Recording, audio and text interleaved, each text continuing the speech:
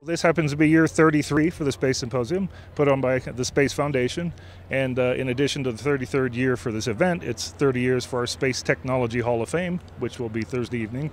But this is a gathering of, of global space experts, people from around the world. We have over 30 countries represented here, but this is a spectacular piece of work by our friends at Blue Origin. For Blue Origin to bring this, this vehicle out here, especially this guy that's actually been up and back.